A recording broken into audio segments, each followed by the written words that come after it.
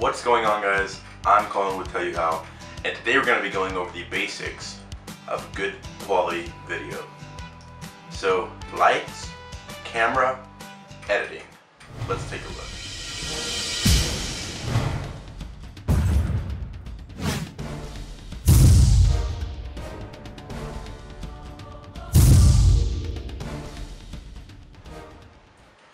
Alright, so a good quality video is something that we all want, although many of the very basic things are overlooked.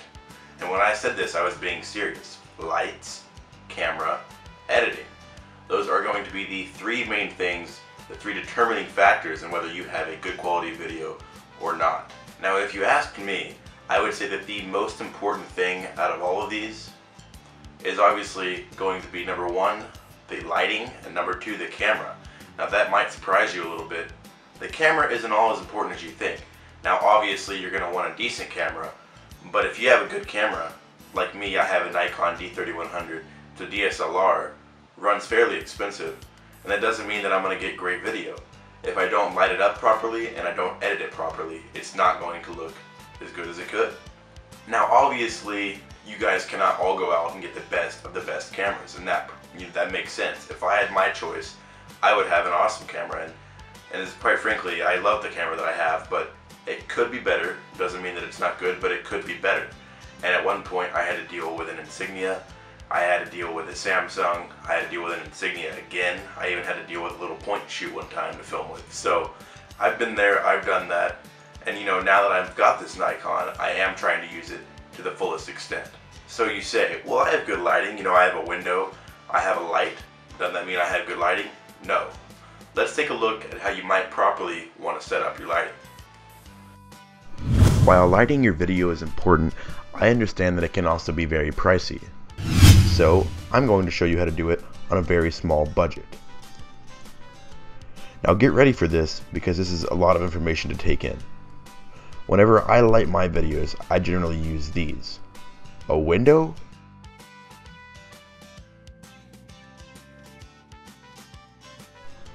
and a cheap reflector light that I got from Walmart for about $6. Now I know it's a lot, you know, bear with me. I'm just kidding guys. But seriously, for these things, you can have fairly good lighting on your video. Obviously you're going to want to go ahead and use whatever lighting you have in your environment to your advantage. If you're outside and it's overcast, then you probably won't need to use anything other than the sun of course. But if you're inside, a window being placed near a window and having a light on the other side of your face so that kind of balances out that light is a really good option. Another thing with these little reflector lights is this one has a clip on it. This allows me to be able to place it on any kind of object that I'm filming around and it makes it to where I can kind of hang it and put it in the right position so it's not very difficult to use. Overhead lights work well also, but my overhead lights in my room are not that great, so I just tend to use this reflector light, maybe a lamp, and definitely the window. Alright guys, now that we've got the lighting down, you're going to want to head on over to your editor. I'll meet you there.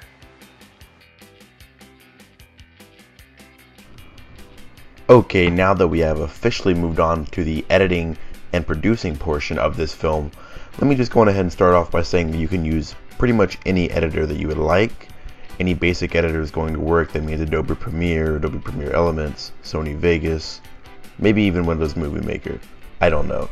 And I know that iMovie will work. But what I'm going to be, be using is Sony Vegas Pro 10. Uh, weird face for the win.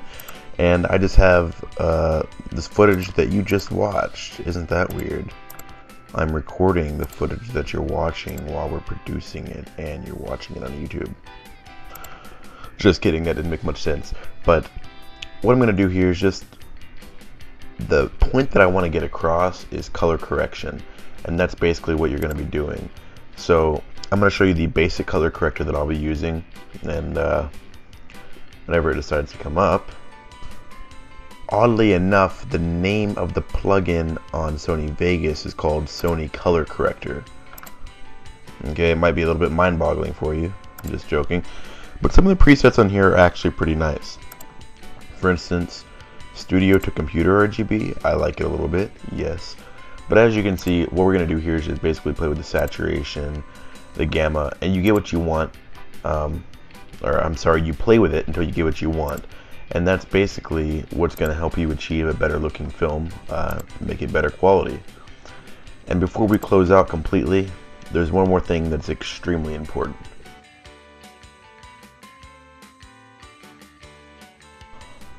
Alright, before you save it or you share it or you render it, whatever, depending on which program you're in, make sure that the video settings are according to the camera that you're recording on. That's kind of a little bit of a tongue twister. And make sure that it looks good. For instance, the camera that I record with, I have it set to record in 1280 by 720 at 30 frames per second, or 29.97 to be exact.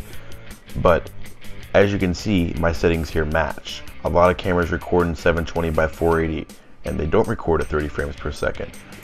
In that case, you would want to bump it down to whatever your camera records in. And if you don't know this, I know you can look it up online. Um, and the reason why I'm stressing this so much is because it is very important and it's something that you need to know because if you export in something different than what you imported in, it looks totally just weird, okay? Like if you if I exported in 60 frames per second thinking that it's gonna make my video look a little sharper, no, it just makes it look a little glitchy and laggy. It doesn't work. So basically you wanna export um, what you imported in. It's kind of, uh, it goes hand in hand. One more thing, if you have the option, depending on which editor you use, most of them are going to allow you to choose which format you want to save it in. I actually go with Windows Media Video uh, most of the time. AVI is good, but it's extremely large and it, and it kind of takes forever to upload to YouTube, so I don't tend to use that. And MPEG is good too.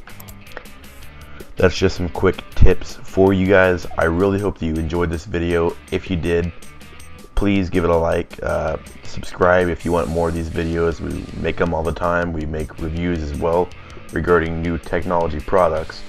So once again, guys, I am Colin will tell you how. Hope you guys enjoyed this video. You guys have a great day. Peace out.